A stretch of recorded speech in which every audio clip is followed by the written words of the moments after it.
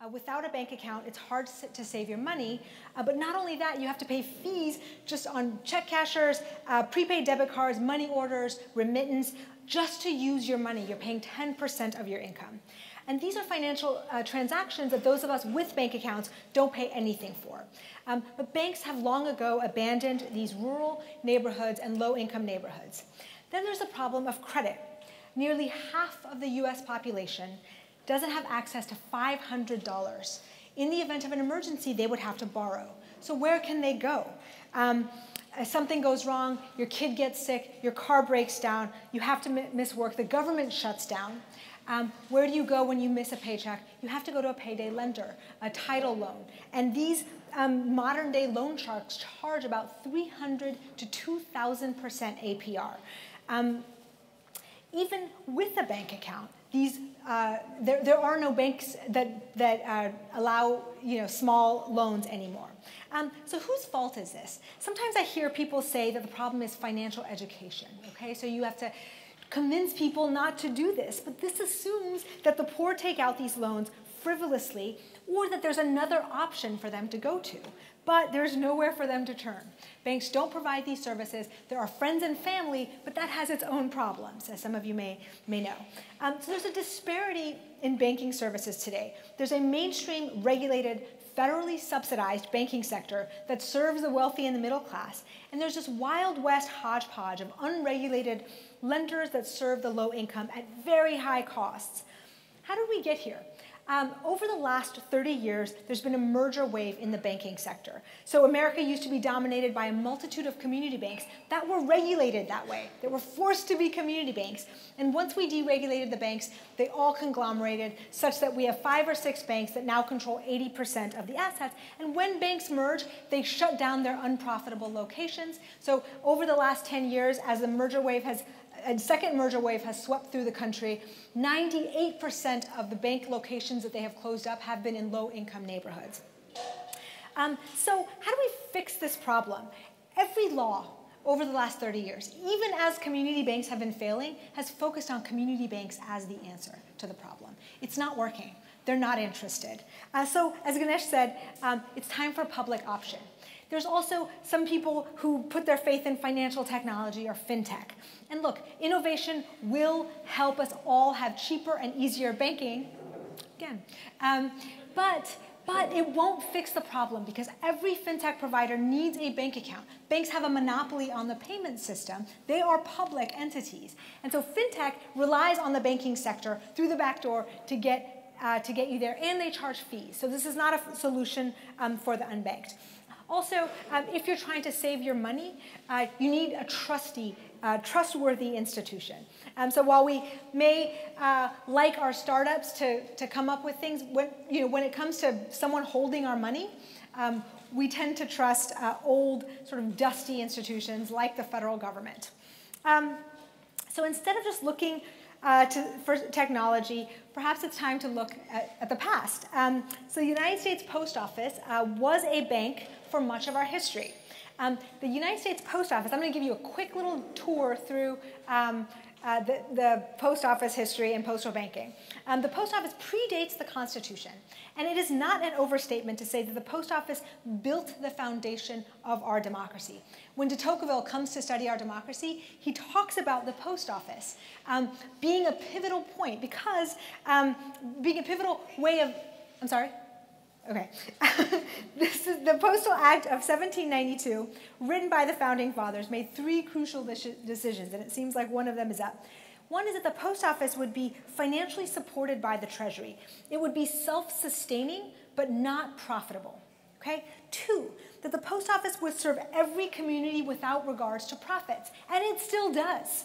And three, the Congress would subsidize the dissemination of newspapers by the post office. Why newspapers? Because the democracy is um, healthy when everyone knows what's going on. And so when de Tocqueville is in Michigan and seeing these loggers that know just as much about what's happening in DC than those who live in DC, he's saying this is because of the post office. And so Europe takes our model and does the post office there um, to promote democracy.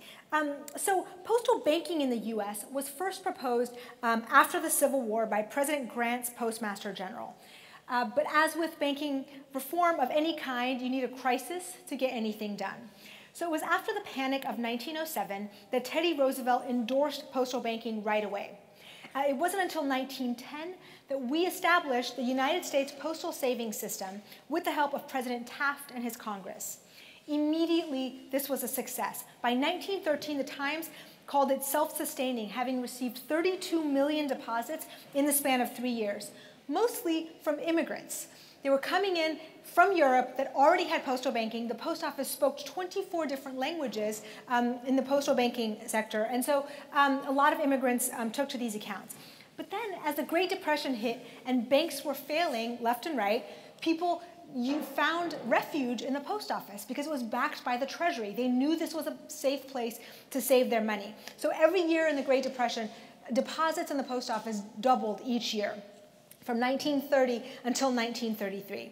Um, after the Great Depression, FDR chose a deposit insurance instead of postal banking, which were the two options he could. So one was a public option, the other was a public insurance fund to support the private banking sector, and Roosevelt chose the latter. Um, but he retooled the post office savings bank to use the funds um, to, to fund the wars. Um, so they sold postal um, defense savings uh, stamps at the post office, and some of them are some of them are creepy. These are the less creepy ones. Actually, one of one of these is creepy. Um, but the point is that so so, so he he raised eight billion dollars um, through these postal um, savings uh, stamps. With each change in circumstances, the post office has been allowed to adapt and innovate. They invented the Pony Express. The first pilots were doing airmail for the post office. And then, as troops are being stationed abroad, they innovated bank by mail.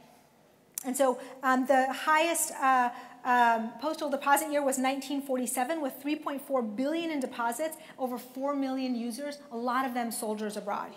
So by 1950s, what happens to the post office? By 1950s, banks are everywhere. They're offering low interest deposits, and because of heavy state regulation, lots of mandates on interest rates, anyone can get a bank account anywhere. Johnson, Pre President Johnson in 1966 shuts down, persuaded by the banking lobby, shuts down uh, the postal system, says it's no longer necessary. But note that 20 years later, those banks are no longer there. Okay, um, so in many ways today, the banking landscape more resembles 1910 than it did 1966, which was the golden era of community banking. Uh, so what if the new big solution to our problem of financial exclusion is a really old one? Um, postal banking could eliminate banking deserts and leave no American unbanked. People trust the post office still. So while we may think of the post office as a dinosaur, we don't suspect them of being a shark. And this stability and trust is crucial to sound banking. The post office never left low-income neighborhoods. 60% of post office locations are in banking deserts, areas that banks have vacated. And this is important because the unbanked and the underbanked still use cash. And so they need to have a brick and mortar location um, to save their money. Um, this is not to say that they would have to remain in cash. Once you have a savings or checking account, you can use your debit card to start paying your bills. We can end the ridiculous injustice that the most financially vulnerable have to pay the most just to use their money. More importantly, a savings account can provide a financial buffer for people when times get tough. Imagine again that you need $500 a month just to make it through, except now you can go to the post office, an institution that is not trying to gain maximum profits from your desperation, and perhaps you can get a loan for 10% interest, as opposed to 300 to 2,000%. So today in America, the again, the poor pay more than anyone else just to use their money and for credit services. The less money you have, the more you use to spend to use it. Um, Look, reasonable loans and savings are not going to cure poverty, but it will provide a much needed lifeline instead of a crushing burden when people are desperate for small credit. The post office is well suited to do this because it's a trusted government institution. It helped build our country. It was pivotal to our uh, democracy. It still manages to deliver mail to every household in the US daily. It has a branch in every neighborhood and has public service as its central mission. And the post office is struggling to survive, as are so many millions of low-income Americans. So postal banking could breathe, breathe life into both, uh, which is what I call a win-win. So that's my idea. Thank you.